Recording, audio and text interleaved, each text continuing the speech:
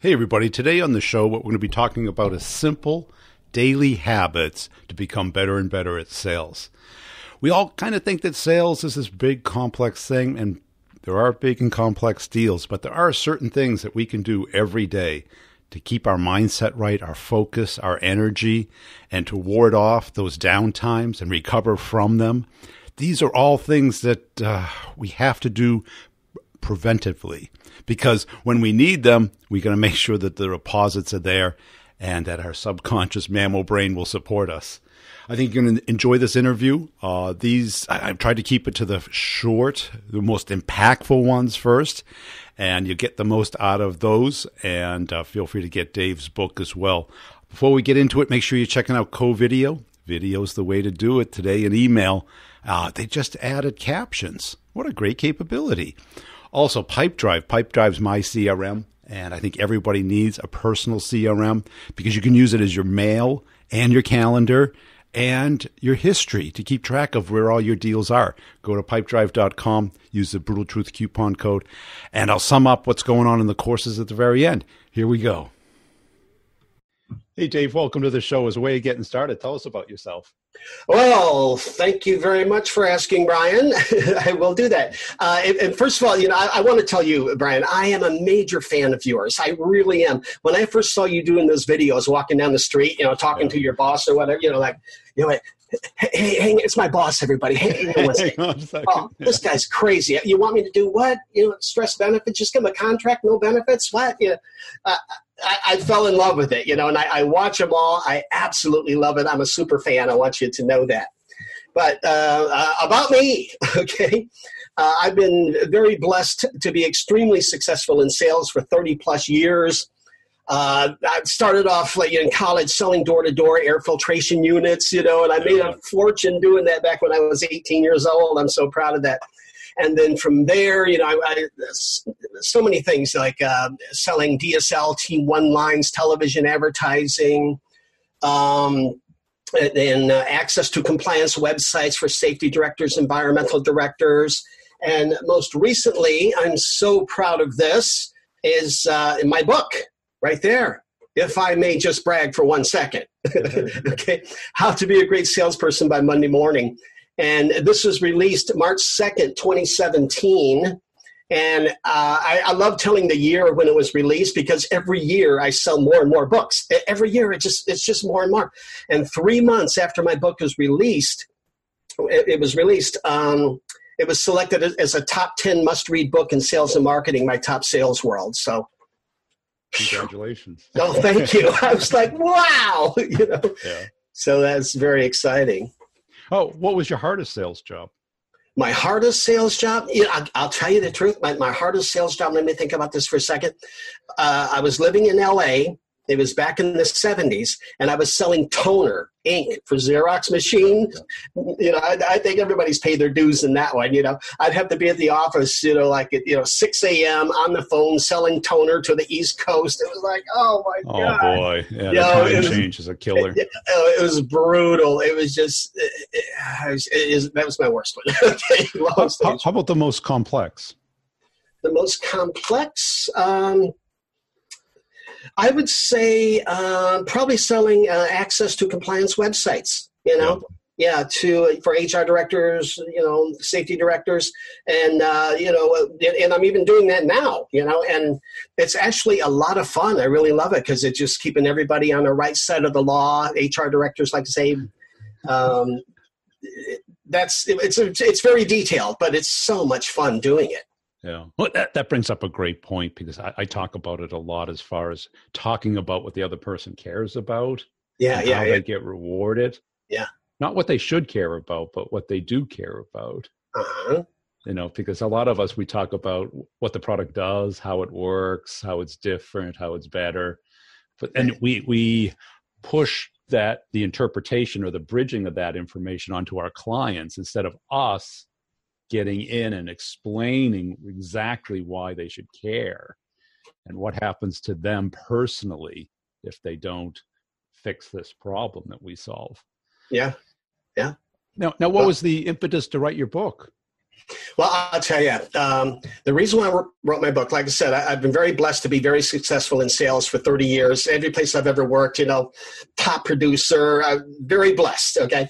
And the reason why I wrote my book, Brian, is because I heard somewhere, I, I, I read it somewhere, I can't remember, is that everybody should write an autobiography. Everybody should write their own story for their children so their children know more about them. Yeah. So I thought, yeah, that's a great idea. So I'm thinking of all the success I have in sales, you know, and I thought I, I actually I wrote the book for my son because I want my son to know all my stuff. I want him to know everything I know. I don't want to leave this world thinking like something I could have there was something I could have said to him to make his life easier, and I didn't. So that's why I wrote the book. And, and most recently, I have to tell you, I, I did an interview with uh, I, I, know you know Jack Canfield, Chicken Soup yeah. for the Soul, Success Principle. I had an interview with him and I told him that same story. And he looked at me and says, Oh, so it was written with love. And I went, Yeah. I didn't think of it like that, but it was. And I think that's one of the reasons why the book is so successful is because people pick up on that. I get people emailing me saying, I feel a connection with you. I feel something, you know, so yeah. that's why. and your son's in sales? No, he's not. well, what happened? A failed childhood. Huh? no, actually, he works for. Uh, he, in college, he majored in computer science and Japanese, and uh, right now he's working for Charles Schwab. You know, a perfect combination. Yeah, yeah, yeah. Isn't that something? So, but you know, aren't we all in sales? I mean, if there's little tricks, you know, just saying someone's name so you get their attention first, just you know, little little things. So, yeah uh, that's it because I I wrote my book is and I what I found by doing it it's a great exercise. Oh yeah, right because we we have you know we have our notebooks, we have our memory, we have our system, we have our habits, but they're easily misplaced, forget, forgotten, and not accessible at the moment that they're most helpful. Yeah. Oh yeah. How many sales meetings have you left and you go, I should have asked this question. I should have closed for the next step. I should yeah. have done this. Yeah. I, or or we, we kind of recognize why they asked that question. That there was mm. a lot more behind it than just the words. Yeah. You know, every now and then I'll read my own book. Okay. It's like, yeah, you know, it's on my nightstand with other stuff, you know, but I'll read my own book and it'll be like, oh, I forgot about that part. Oh. you know, it's like, whoa, it's a great refresher for myself. Yeah. yeah and I had mine on Audible, and I would listen to the pertinent parts yeah. based off of the deal when I was faced with that element of the deal. Yeah, and and that's it. Even though because you don't sit down and write a book over a month or a couple of months. No, it's a, year, year and a half project. It, two years. Two years for me. Yeah. Yeah. And how many times did you read it in that process? You would think it, you'd had it memorized, but you don't. No. You're human. Yeah. And I can't tell you, and I know this has happened to you and everybody out there who's written books, you know, it's like I'll be lying in bed. It's three o'clock in the morning. I'll, I'll wake up to go to the bathroom or something, right? and I'll get back in bed and I'll be lying there. And all of a sudden, a thought hits you. Oh my gosh, you got to get up, go to your computer, start writing, you know. So it's like, oh my goodness. But, yeah. and I think it's probably a good exercise for anybody at, at some level. It doesn't have to be published yeah. Uh, but it should be uh, anywhere but just in your head. Yes, yeah, I, I, I, I, so agree. Get it out your, there. Your head is the worst place to keep it. this this file part, that file part. Yeah, because that, that's it. Because as uh, mammals, we're not very good at pulling out information when we need it. We're very good at you know analyzing it when we're relaxed in the shower. Yeah, or sitting down with a notebook, or yeah out at a picnic and boom, it comes to us. Yeah. But that's not sales. Sales is you're in the game, you're on the field. Yeah. Right. And our brain switches to our subconscious. Mm-hmm. Right. And if it's not there, it, it, it's, it doesn't get used. Yeah, yeah. That's why every sport, it's practice, practice, practice. Yeah. The same thing to move it from our conscious to our subconscious where yeah. it needs to be. Yeah. Yeah, I, I, I, sometimes call that subconscious the hard drive. You know, you know. You, that's the hard drive. That's the yeah, OS, yeah. the operating system. Exactly. And sometimes, like I say, like you said, you go down there and reach for it. Like, whoa, where, where is right. it? It's like you to search for it. It's like yeah. moving that disk around too many times and it can't find it or it finds the wrong thing. Yeah, practice, practice, practice. Now let's get into like my favorite topic is what makes the difference between the great reps and the good reps. Well, I, got to tell you, uh, nowadays, I, I personally feel that people, whether they realize it or not, they're really craving for the human touch, whether they know it or not, because everything's email, text, this, that, and the other. And uh, the good reps and the great reps, it, there's a lot of little things in my book actually that, that cover that. And one is like, there's so many little steps, so many little tiny little things people can do. It's like, you know, for, for me, I definitely think that the, the, most important thing anybody can do when they're approaching a customer, anything like that, the very first thing you want to do is make them laugh. That's the very first thing. Forget everything else, make them laugh. And usually self deprecating jokes work best. It's like, you know, if you hear something creaking. That's my bones. I can't take this cold weather, I'll tell you. Because as you know, I know when I talk to you, I know I'm preaching to the choir. I, I know that. But you know, but when you get someone laughing, they relax, they listen. Endorphins yeah. are released in their brain. They're happy and they're thinking that you're really cool because you're the one who made them laugh. And they're thinking, oh, this is going to be fun. Right. So they relax their guards. So first thing you want to do is make them laugh and and uh, how to be a great salesperson by monday morning my book it's pretty much written in a chronological order of what one should do because like i say i wrote this for my son so i want him to get the steps you know and it starts off with me i, I won't get I, I could get going forever. And once I get started, I get excited. But first thing is make them laugh, and then enthusiasm and benefits, or enthusiasm and attitude, and then benefits, and then urgency, and it just keeps going and going. Yeah, I mean, because I mean, I think that part is overlooked. You know, people yeah. call it rapport, people call it bonding, and I agree. I mean, humor for most of us is the easiest way. Yeah. And, and if self-deprecating because we can talk about ourselves. Yeah. Or something in common. Yeah. Uh, you know, that's why most people talk about the weather. Right? Yeah. Right. And I think in the last five years, a lot of sales experts have been saying it doesn't matter. Well, oh.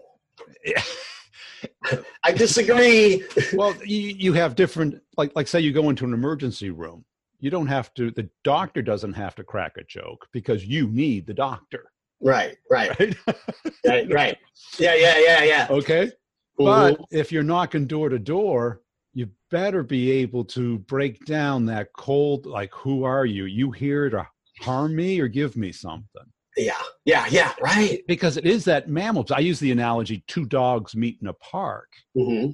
They either bark at each other to, to like keep each other away.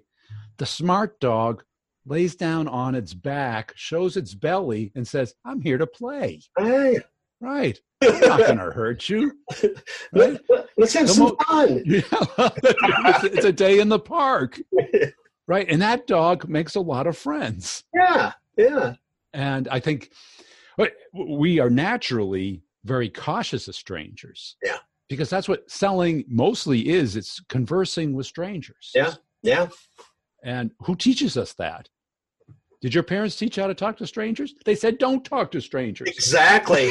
Yeah, yeah. don't make eye contact. Don't talk to strangers. Ah. Yeah, yeah, yeah. Because yeah. they are outside of our tribe.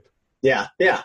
And and humor is basically showing your belly. It's saying, I'm I'm not here to hurt you. Yeah. You know, yeah. Let's, let's have at minimum a fun conversation. Yeah. You know, you know, Brian, when I was a freshman in college and I was selling air filtration units, right? You know, not not a lot sexy about that. You had to make it sexy. You know, uh, uh, you know, uh, I'm 18 years old. You know, did incredibly well in that job. Though I'm so proud of it when I look back. But I used to go in someone's home and I'd have on my sport coat and I would I go, do you mind if I take off my sport coat? They go, no, go ahead. You know? So I take off my sport coat. I turn my back to the customer and I go, oh my gosh, excuse me, this isn't the shirt with the hole in the back, is it?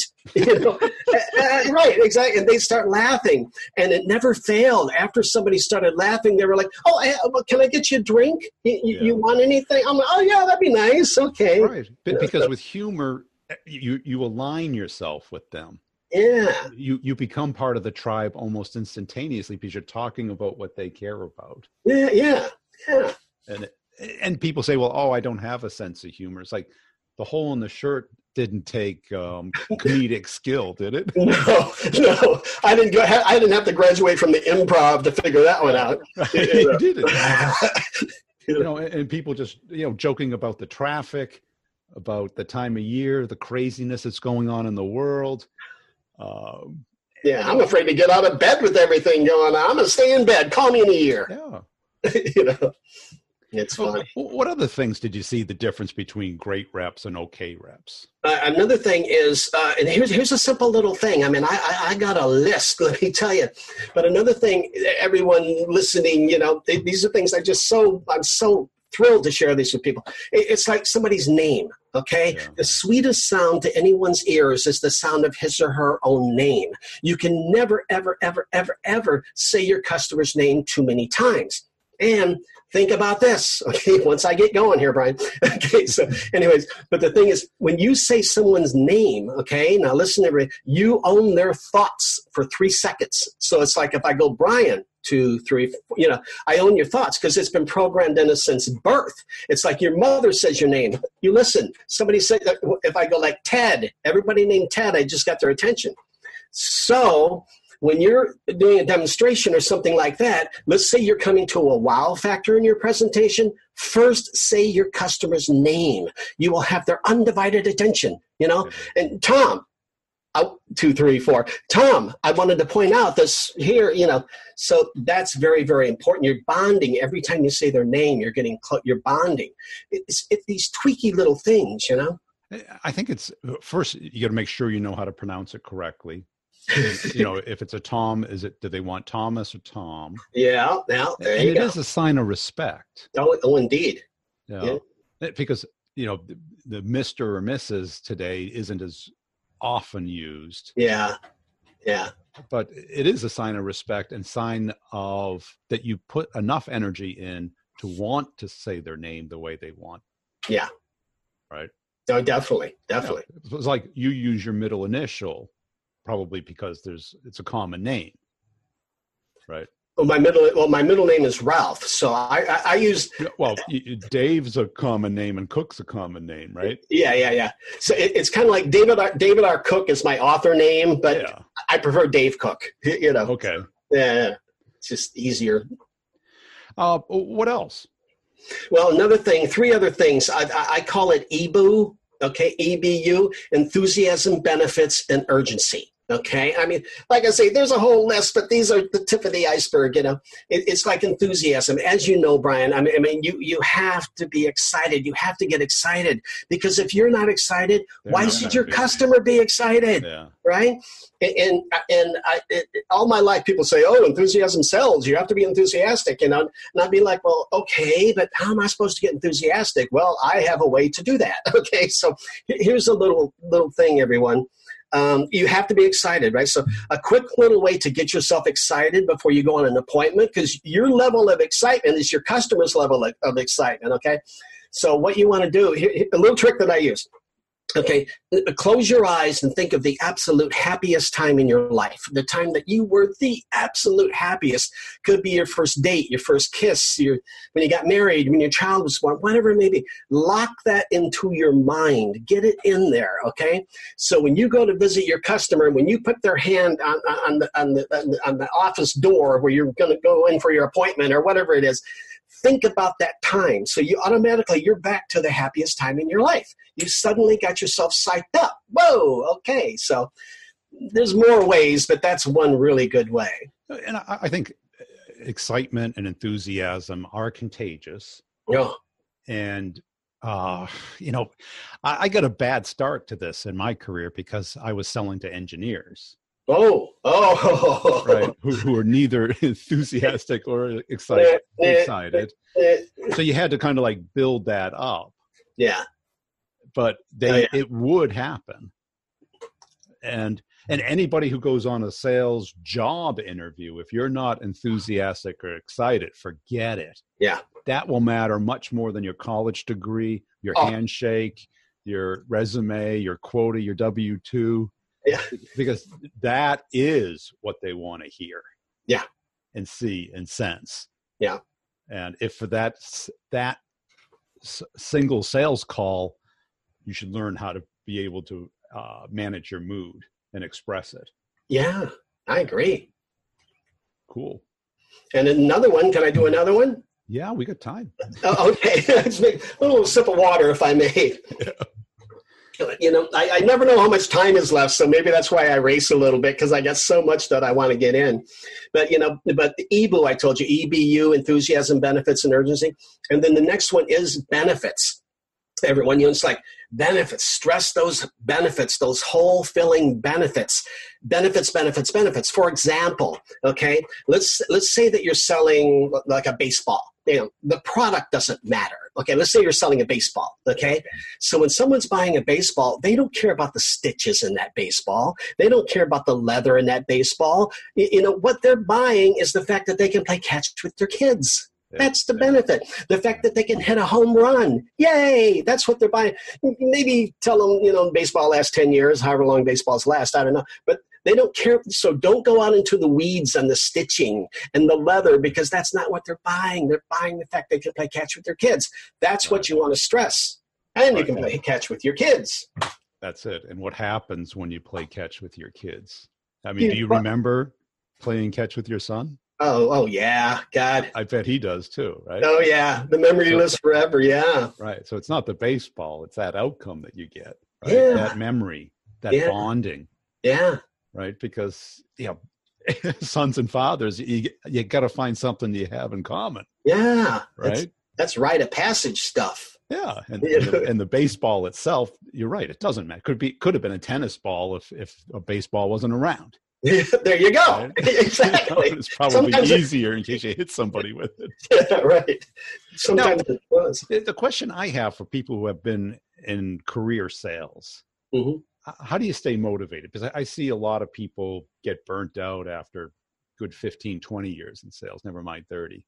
Yeah. How, how do you stay motivated? I, I don't, you know, something, Brian, it, it's just, I, am so competitive and I have so much fun doing this, you know, that I, I, I, it doesn't take much for me to stay motivated, you know? And it's like, I want to be successful. You, you, you got to think of what does motivate you, you know, like you know, I want to be successful in my son's eyes and people around me, my family. Your identity. yeah. Yeah, right. You know, that keeps me motivated. And the fact that you, and I really, really mean that, that what really, one of the things I really like is the fact that your product or your service can make someone's life better. That is. I get a major kick out of that also, you know, so that motivates me and they call me up later or send me an email about my book or something. Dave, thank you. Oh, that was so awesome. I love it. And I'm like, yay, you know. Yeah. So those kind of things. And what separated you from the rest of the pack when in the company?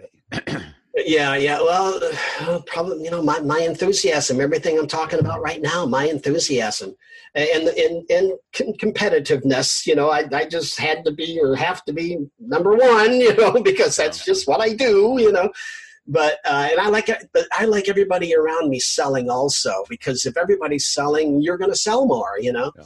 But it's mainly things I'm talking about right now. It's what always kept me number one being excited, stressing those benefits, saying the customer's name over and over, making them laugh right up front. You know, get excited. It's a party. Have fun.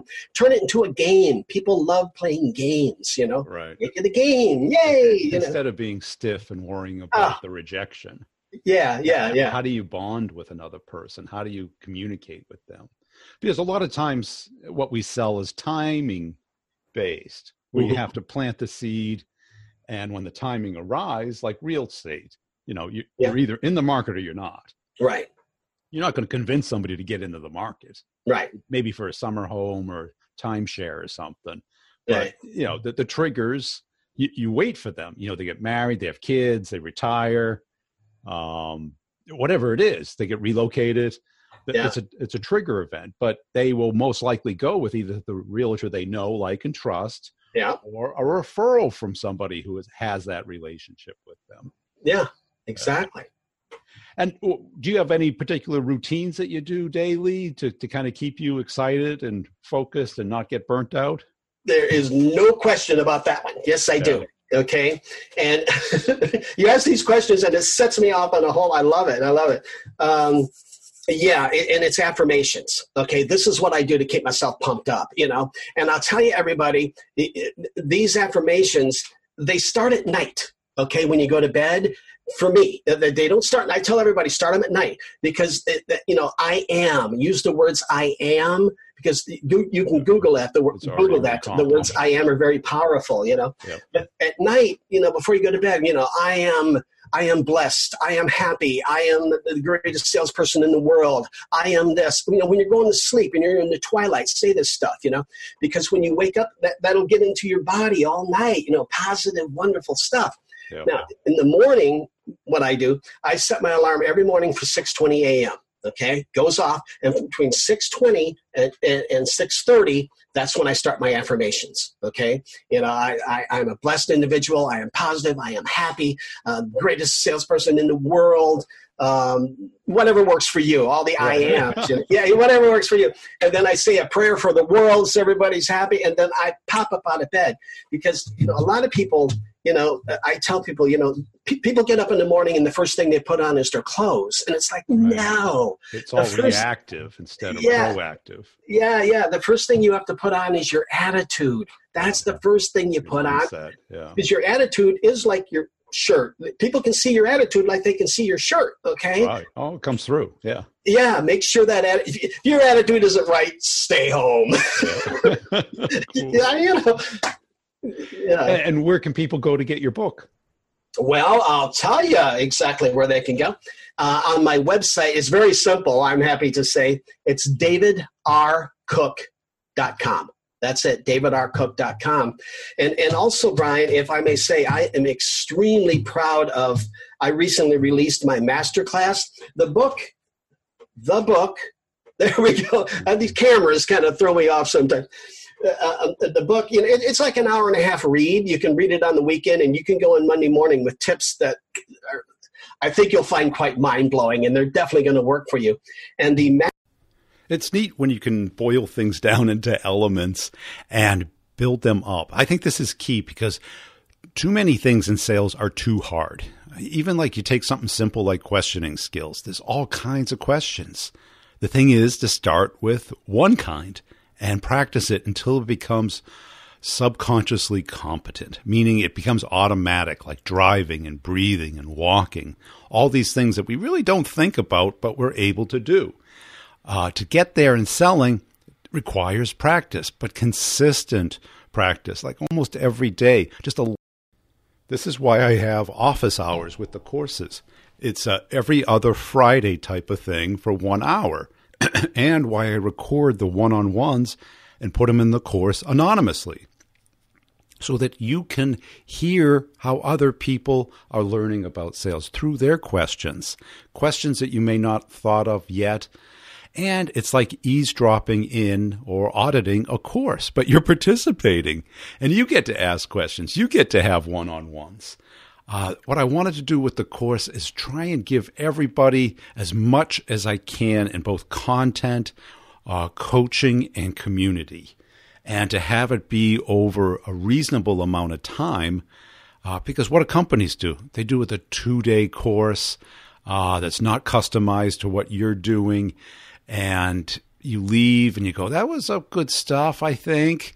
And then you go back to what you were doing before. I've been through so many training courses in the two day approach, and it, it helps. It's not bad. It's just not good. It's not great because you need habits, you need routines, you need repetition, you need to ask questions, you need context. And that happens over a reasonable amount of time. Uh, three months is too short, six is good, but how about a year? That's the right amount of time, Brian. That's why I make it a year. So you can sign up, go through it as fast or as slow as you want. Nothing's gated. You can pay all at once or through a convenient 12 month payment plan. It just takes it off your credit card every month.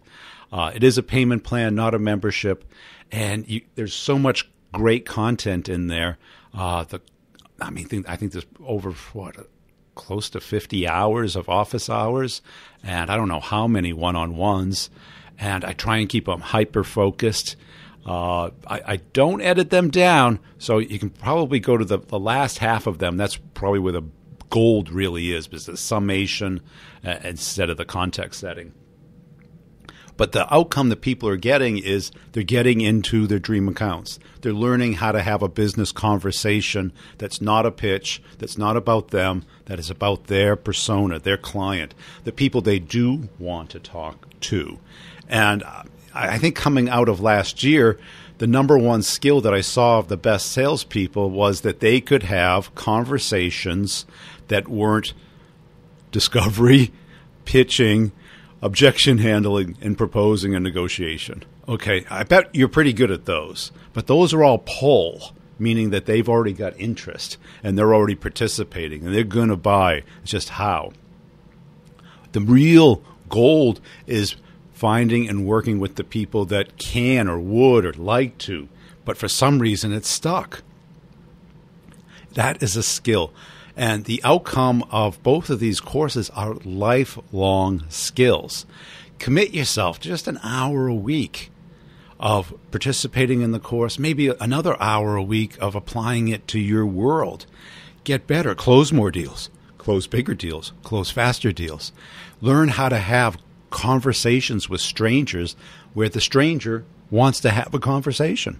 Go figure. This is craziness, Brian. This is witchcraft you mention here.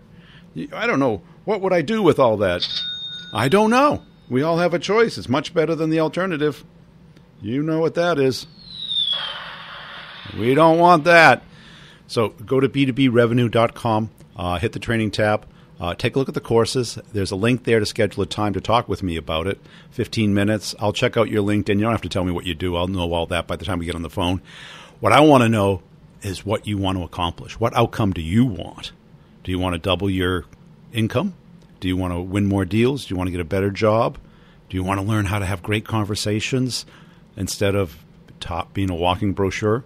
All good objectives. Let's talk about them, okay?